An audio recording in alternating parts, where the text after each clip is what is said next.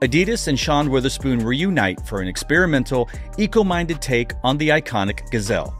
A strong theme acts as the connective link between Sean Wotherspoon's collaborations with the creative renowned for his experimental and uncompromising approach to sneaker design. His latest link up with Adidas represents this ethos perfectly, transforming the ever iconic Gazelle through his unconventional lens. What's up, y'all? It's Daniel Shoemmelier, and if I'm being 100% honest, and honestly, I have no reason not to be honest, I've been very underwhelmed with all of the Adidas and Sean Wotherspoon collaborations. Now, hopefully, you're like me and you weren't expecting a grand slam, hat trick, 100 yard touchdown pass of a collaboration like he had with Nike and that Air Max that would just be unrealistic expectations. But I'm not sure that I was expecting the direction he went with all of his Adidas collaborations and silhouettes. Eh, they're not for me, and it seems like if we're going off of the hype meter, they weren't for a lot of people either. So when I saw pictures of these hemp collaborations, specifically this collegiate green colorway, I thought, holy crap, I'm about to buy a Sean Wotherspoon and Adidas collaboration for the first time. And while I don't necessarily love the way the Gazelle silhouette fits and feels, I'm very happy with this purchase. So today we're going to talk about it. Sean Wotherspoon's innovative reinterpretation of the Adidas Gazelle seamlessly fuses his distinctive vision with alternative materials, injecting a fresh perspective into the iconic 70s design.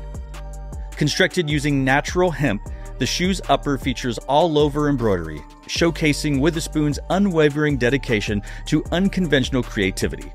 Noteworthy is the prominent display of Sean Wotherspoon's branding on the shoes, complemented by a gum outsole that further enhances its distinct look. The three stripes branding on the panels is covered in white with the same shade on the tongues, laces, liner, and hemp branded hang tag. Maroon appears on the heels and the second set of laces. The Sean Wotherspoon and Adidas Gazelle Indoor Hemp Collegiate Green released on November 15, 2023 and retailed for 140 US American dollars. Now, when it comes to fit, my foot is about a 9.25, but that shoe size does not exist. So, depending on the brand and depending on the silhouette, I either go down to a 9 or I go up to a nine and a half. In the majority of Adidas silhouettes, especially the more traditional and classic silhouettes, I go down to a size nine and consider that my true to size. When it came to this Gazelle, I ordered my true to size, again size nine, and to me, it fits just right.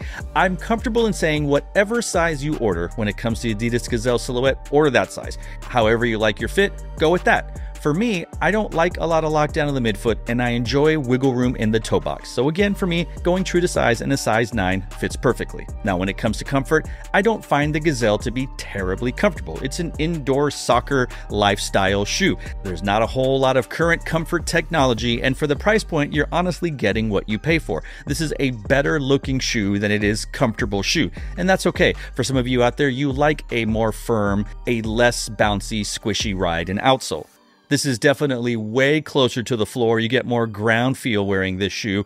And when it comes to the Gazelle silhouette, I do take out the Adidas insole and insert a third party insole like Fulton's or Superfeet. And while it doesn't add a whole lot more comfort, it is definitely better on my feet at the end of the day, causing less foot fatigue. And I know some people don't like the low profile on the ankle collar of how low this low top is, or the way that it feels, or the size of the tongue. Different strokes for different folks. If you're wearing short, no show socks, maybe you don't like the way the tongue feels on the top of your foot. And if you're wearing longer socks like crew cut or ankle or the old school all the way to your knees, well, then maybe it doesn't matter to you much. Wrapping comfort up, I will say this gazelle feels like every other gazelle I've tried. So if you like that, great. If you don't like that, also great. Just know what you're getting into when it comes to this silhouette. As I said in the opening, this is by far my favorite Sean Wotherspoon and Adidas collaboration, and I wonder if it's because it's way more understated, especially in comparison to his other collaborations with Adidas. It's a basic shoe. It's green, it's white, you got the gum, and you have this maroon with a little bit more color here on the back of the heel. And I think that's fine. I really, really like the way this shoe looks. I like the way it feels.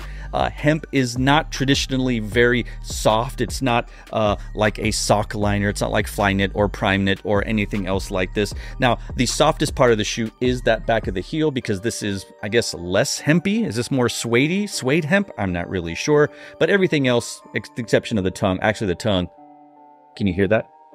The tongue's kind of rough. And that's okay. You know, these older silhouettes, the more soccer inspired silhouettes, I mean, honestly, look at the insole. There's not a whole lot to it. It's just, it's just, it is what it is.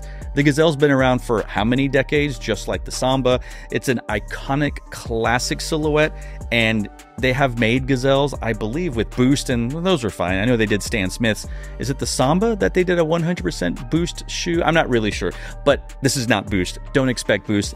Expect the old school comfort technology on there again because this shoe retails for 140 US American dollars. You get what you pay for. A better looking shoe than it feels on foot. I'm older now, so I'm definitely gearing towards more comfortable shoes. I will wear this shoe because I love the way it looks and I love the way it matches with my aesthetic and my outfit. I'm not wearing it because I'm like, this is to be super comfortable on my feet. So Anyway, again, my favorite Sean Wotherspoon collaboration with Adidas. I would love to know what you think about this silhouette, this colorway, this collaboration of sorts. We're not going to get an Air Max type home run again. That was lightning in a bottle but we can get close. We can get to some things. I love what this does. I hope that maybe he'll start doing something similar to this look, this whole aesthetic, toning it down a little bit. I know as a creative myself, more in music than anything else, we hate being limited. We hate being told you only get 12 colors or 16 colors. And, you know, sometimes, as I've heard, through limitation, true creativity comes out. So we'll see. I dig this shoe. I look forward to seeing more along this line. Let's talk about it in the comment section down below. So, to all of you out there, wherever you are, thanks for watching. Stay tuned and just chill. Till the next episode.